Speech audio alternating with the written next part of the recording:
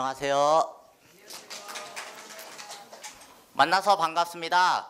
유일하게 교복을 안 입고 온 문제 학생 서지훈입니다. 오늘 제가 이야기할 주제는 도움되지 않는 비밀 따위는 넘겨버려라입니다. 누구나 사연이 있습니다. 누구나 말 못할 비밀을 간직할 수 있습니다. 그렇다면 한번 생각해 봅시다. 말도 못하는 비밀을 계속해서 간직하고 있는 것이 과연 도움이 되는지에 대해서요. 저는 항상 특별한 아이가 되고 싶었습니다. 하지만 아무런 재능도 장점도 갖고 있지 않은 저라는 아이는 항상 특별함과는 거리가 멀었고 남들보다 뒤처지기만 할 뿐이었습니다. 그래서 저는 과거 속에서 살았습니다. 저만의 비밀 공간 속에서라도 저는 주인공이 될 수 있었습니다. 저는 이상한 아이였습니다. 그 아이는 정말 느닷없이 울었습니다. 하루는 집에서 갖고 놀던 장난감이 부셔졌던 것이 갑자기 떠올랐다는 이유 같은 그런 사소한 것들로 100번이든 1000번이든 울었습니다. 우는 것밖에 하지 못하던 저에게 어머니께서 내려준 칭호는 바로 병신이었습니다. 계속되는 비난 속에 사진은 멀쩡할지라도 정신이 썩어물 들어가는 기분이었습니다. 스스로가 병신임을 인정해야만 저 소리에 상처를 받지 않을 것 같아서 어느 순간부터 저는 스스로를 병신은 아니지만 병신일지도 모르는 아이라 불렀습니다. 그런 일을 거듭할수록 스스로 파멸의 길을 걷고 있다는 것도 모른 채 어느 순간부터 병신을 자처하기 시작했습니다. 하지만 감정을 묻고 눈물을 거두었음에도 상황은 마찬가지였습니다. 남들과 어울리지 못하고 도태버리, 도태되어버린 저는 여전히 이상한 존재였습니다. 사실 알고 있었습니다. 비밀, 저는 특별한 존재가 될 수 없었습니다. 비밀은 저를 특별하게 만들어주는 동시에 저의 앞을 가로막고 있었습니다. 인정해야 했습니다. 그래, 나는 병신이다.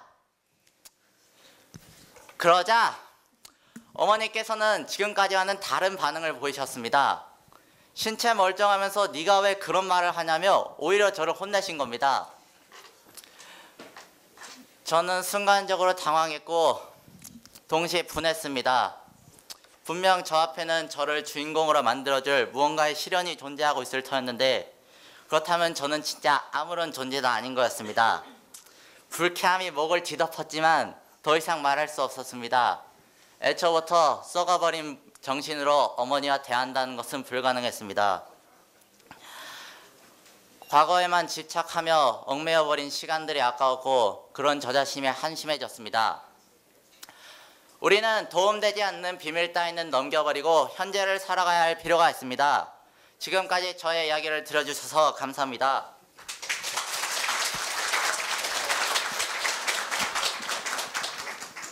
네, 서지훈 학생의 솔직한 말하기 잘 들었습니다. 그럼 지금부터 심사위원분들의 질문을 들어보겠습니다. 무서워. 입니다. 어, 특별하지 않다고 했는데 굉장히 특별해요. 제가 볼 때는. 일단 왜 교복 안 입고 왔어요? 아, 제가 오늘이 사실 그 졸업 앨범 촬영 날이라서 그 사복을 입고 등교해가지고 촬영한 다음에 바로 조퇴해가지고 집을 한번 들렸다가 바로 지하철 타고 여기 온 건데요. 네. 사실 입으려 했다면 입을 수도 있을 것 같았는데 솔직히 입기 귀찮아서 안 입었습니다.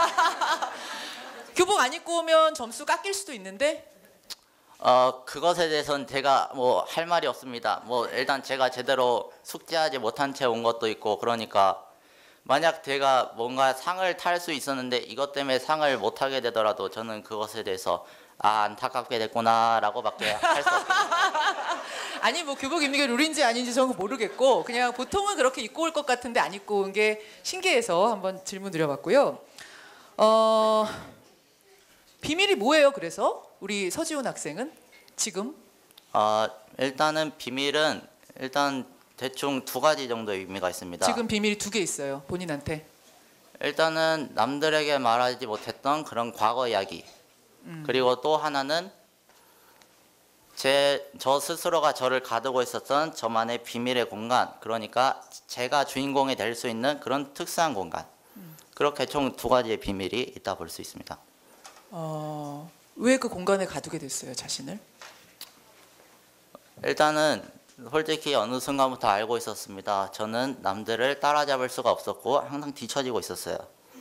그렇기 때문에 제가 주인공이 되기 위해서는 아무래도 이런 비극적 이야기라도 섞어가지고 뭔가가 되어야겠다라는 느낌으로 왠지 스스로에게 이상한 아 나는 비극의 주인공이야 약간 그런 칭호 같은 거 부여하면서 혼자 살았습니다. 아, 혹시 책 같은 거 안 써봤어요? 어, 책은 쓴 적이 없지만 최근에 제가 제 삶에 대해서 대충 글을 쓴 게 지금 있긴 합니다. 음, 그래요. 예. 뭐 끝나고 보여드릴 수 있습니다. 오, 보여주세요. 예. 네. 굉장히 여쭤, 질문하실 게 많을 것 같은데 일단 넘기겠습니다. 그 책을 이렇게 넘기신다고 하는 거 보니까 아, 글쓴 거를 저 주제에 맞게 이렇게 실천까지 하시려고 하는 것 같아요. 대단합니다. 어, 저는 되게 그 정말 특별하게 얘기를 잘 들었고요. 그 개인적인 어, 경험을 이 주제와 연결시켰고 어, 그리고 굉장히 제가 볼 때는 어, 일관성이 있게 예, 설명을 잘 해줬습니다. 그래서 저 제목의 주제와 이 지금 말한 내용 이것들이 굉장히 논리적으로 일관성이 이- 있게 들어서 잘 들었고요. 게다가 이제 어, 좀 전에도 말씀드렸지만 글까지 넘기신다고 어, 이 말뿐 아니라 행동까지 일관성이 있어서 어, 앞으로 어, 좋은 비밀 많이 만들어서 간직하시고 어, 나쁜 것들은 본인이 생각할 때 이 불만스러운 것이 있다면 어, 넘겨버려서 어, 앞으로 좋은 일이 많이 있길 바랄게요. 잘 들었습니다. 감사합니다. 아니 저기 지훈 학생 이야기에 특별히 많은 박수가 나온 거 우리가 다 알 수 있었는데요.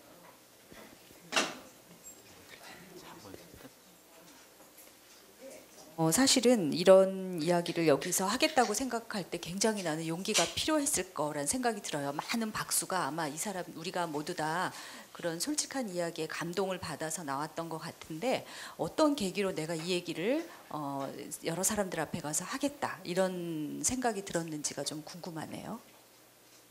어, 일단은 제가 맨 처음에 계획했던 글은 저보다 우월한 사람들에 대한 질투심에 대한 그런 걸 담은 그런 책 그런 글이었는데 그런 걸 쓰다 보니까 자신에 대한 이야기가 전혀 들어가 있지 않다 해가지고 그 순간부터 저의 이야기를 보게 되었는데 솔직히 제 이야기란 게 볼 게 없어가지고 그냥 아 이런 기회 아니면 내가 이런 놈이란 걸 알릴 기회가 얼마나 있겠어 하고 그냥 작성했습니다. 잘 들었습니다. 예.